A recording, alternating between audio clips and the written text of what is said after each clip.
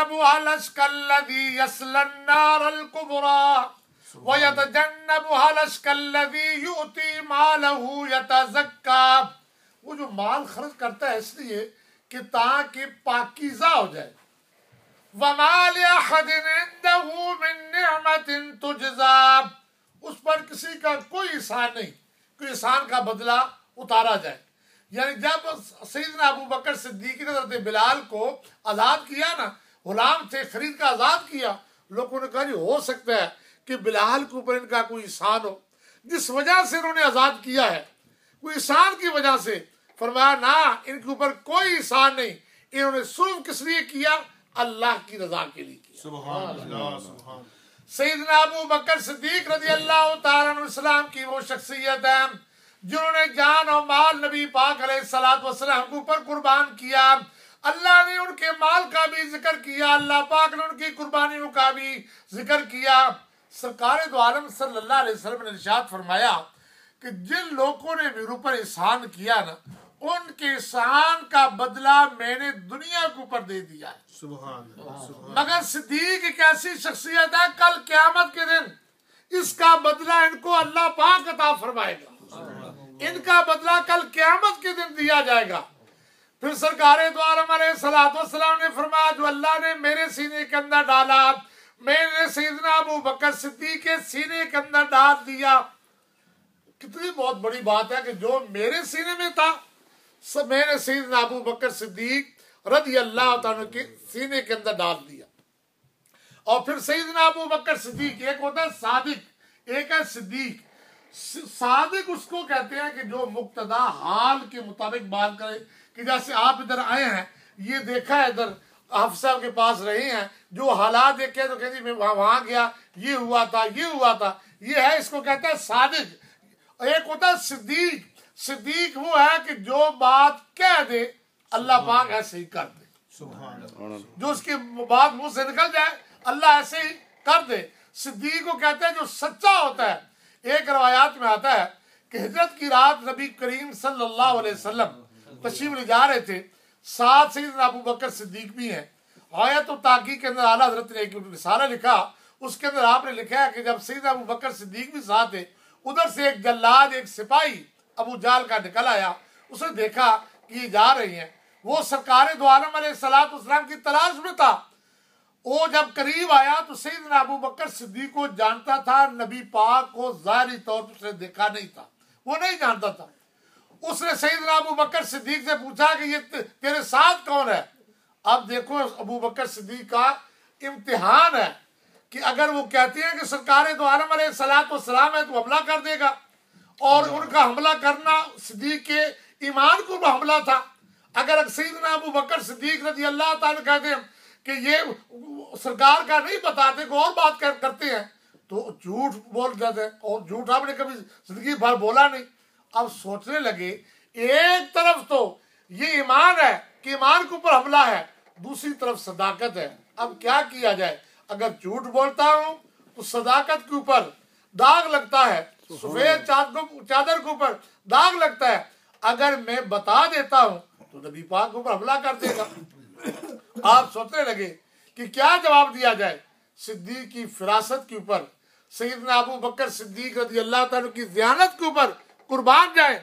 आपने सोचने के क्या किया जाए? मियाँ साहब फरमाते हैं, आप जब सोचने लगे क्या लगे, फंस गई जान। शिकंजे अंदरी, जो वेल दे विची गाना।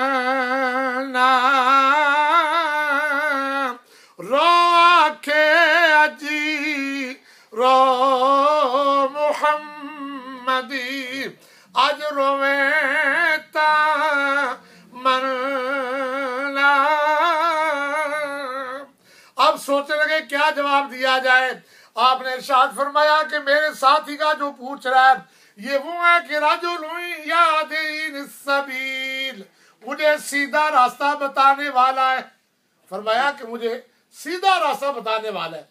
उसने ये समझा, किसी मंजिल पे सिद्दीक जा रही हैं सिद्दीक अकबर को रास्ते का पता नहीं और ये रास्ता बताने वाला है। आपका इशारा ये था कि ये तो मुझे जन्नत का रास्ता बता रहा है। सुभान अल्लाह। सुभान अल्लाह सुभान अल्लाह। मुझे जन्नत का रास्ता बता रहा है। उस बंदे ने ये समझा कि सैदना अबू बकर सिद्दीक को ये राह बताने वाला है मगर आपका इशारा दूसरी तरफ़ था।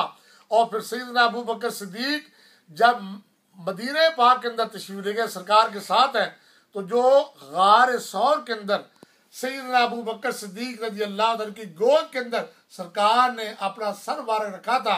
सिद्दीक बार बार जो देख रहा था जियारत कर रहा था अनवार तजल्लियात अबू बकर सिद्दीक के चेहरे के ऊपर इतने थे कि पता नहीं चलता था कि सिद्दीक कौन है नबी कौन है। सुभान अल्लाह इतने अनवार तजलियात के पता नहीं चल रहा कि सिद्दीक कौन है गुलाम कौन है आका कौन है।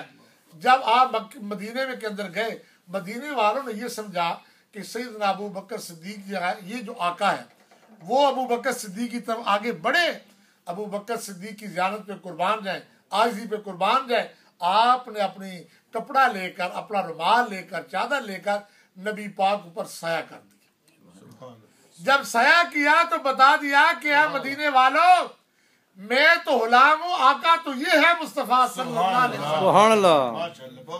आप अंदाज़ा करें कि अनवार तजलियात का ये आलम है कि जो नबी पाक सलात सलाम की जियारत की अनवार तजल्लियात की बारिशें हो रही थी। तो सईदना अबू बकर सिद्दीक ने सारी उम्र सरकार दो आलम फख्र दो आलम सल्लल्लाहु अलैहि वसल्लम के साथ ऐसे जैसे सरकार का साया नहीं था मगर सिद्दीक साय की तरह हुजूर सलाम के साथ है। बदर में देखो हजर में देखो सफ़र में देखो हर मकाम के ऊपर सिद्दीक हुजूर के साथ है।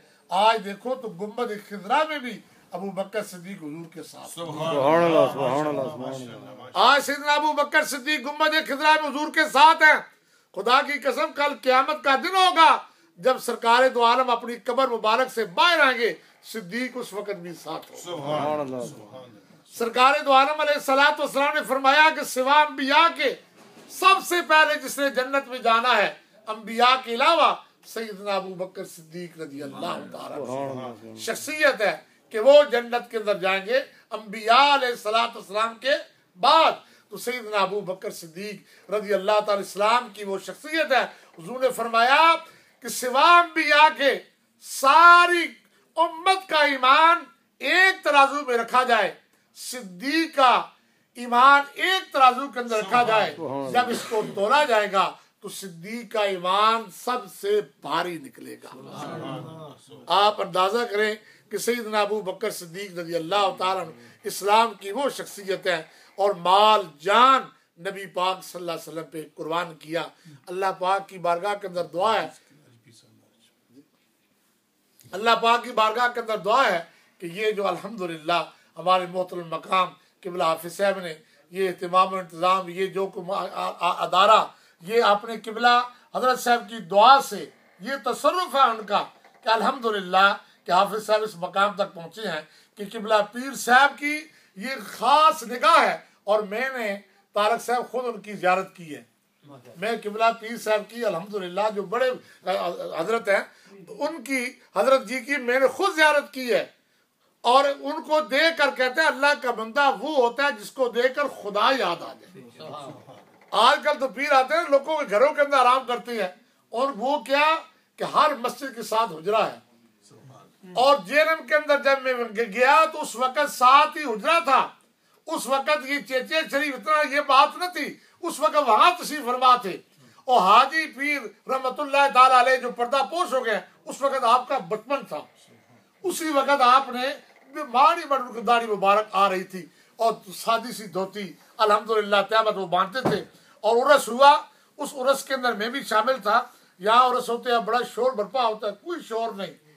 कोई वहाँ बात नहीं। जो बंदा बात करता है, इशारे से बात करता है। और सारा अल्हम्दुलिल्लाह निज़ाम चल रहा है। नमाज़ का वक्त आता है तो आप अपने हुजरे से ऐसा दरवाज़ा खोलते हैं और सफ के अंदर शामिल हो जाती है। नमाज़ के अंदर शामिल हो जाती हैं। अपनी ज़िंदगी मुबारका में जब तक अल्लाह पाक ने आपको कुव्वत ताकत दी आपने नमाज़ कजा नहीं की। और जमात के अलावा आपने नमाज़ पढ़ी नहीं। हमारे गाँव के हमारे रिश्तेदार में से मौला तामस बहुत बड़े जगह आलिम हुए हैं। ये जितने उलमा ये असलम साहब वगैरह सारे उनसे पढ़ कर आए हैं। उनके पास आप तालिब भेजा करते थे एक दफ़ा आपने फरमाया कि आओ आकर हमारा काम देखो। तो मौला तशरीफ़ जब ले गए तो आप फरमाते हैं कि जिस जगह के ऊपर मैं गया मैंने देखा कि वहाँ मस्जिद है, सात हुजरा है। खाने का वक्त हुआ तो खाना मिला, चाय का वक्त हुआ तो चाय मिली। यानी हर जगह के ऊपर आपने दीन इस्लाम ऐसा फैलाया, ये होती है इस्लाम के अंदर तजदीद। अगर मुझे कहने दीजिए तो मैं तो ये कहता हूँ, अगर वक़्त का मुजद है तो वो थे। अपने वक्त के कि आपने इस्लाम में ऐसी तजदीद की। आज़ाद कश्मीर में उस वक्त कोई मौलवी नहीं था, कोई हाफज नहीं होता। लोग कुरान हिफज करने के लिए कोई लाहौर, कोई किधर? अल्हम्दुलिल्लाह आपने पहाड़ों के अंदर अल्लाह उसके रसूल का नाम ऐसा बुलंद किया कि आज अल्लाह ने आपका सारी दुनिया के ऊपर नाम बुलंद कर दिया। सारी दुनिया के ऊपर आपका नाम बुलंद है। जब आपका नाम लिया जाता है तो उसी वक्त लोगों के सर झुक जाते हैं। वजह क्या है? आप अल्लाह के आगे झुके, अल्लाह का नाम बुलंद किया, अल्लाह पाक ने उनका नाम ऐसे बुलंद किया। हालाँकि इश्तेहारात होते हैं, ये उर्सों के ऊपर, पीर उर्स के बाद वहाँ बैठती हैं, लोग मुलाकात करते हैं। आप ये फरमाया करते थे कि जिसने भाई हमारे देखने है मुलाकात करने यही हमारी मुलाकात है। मैं नमाज़ पढ़ता तुम मुझे देख लो मैं तुम्हें देख लो यहाँ तो कोई बंदा ये साबित करेगा कि गद्दी लग- के बैठते हैं लोगों से मुसावा कर रहे हैं पैसे ले रहे ना सवाल ही पैदा नहीं होता। आप ये फरमाया करते भाई हमारा यही मुलाकात है कि मैं नमाज़ पढ़ता हूँ तुम मुझे देख लिया करो मैं तुम्हें देख ले अल्लाह पाक उनका फैज हमेशा के लिए जारी सारी फरमाए। और जिस तरह उनका तसरफ अल्हम्दुलिल्लाह हाफिज साहब के ऊपर है ये सारा काम जो हाफिज साहब ने किया अल्हम्दुलिल्लाह सब की इजाज़त से उनकी दुआ से अल्लाह पाक ने कामयाबी कामरानी अता फरमाए। हमारी दुआएँ हैं अल्लाह पाक इनको मंजिल मकसूद तक पहुँचाए। बाखुर दावाना अल्हम्दुलिल्लाह अब थोड़ा सा ज़िक्र करते हैं फिर दुआ मांगते हैं।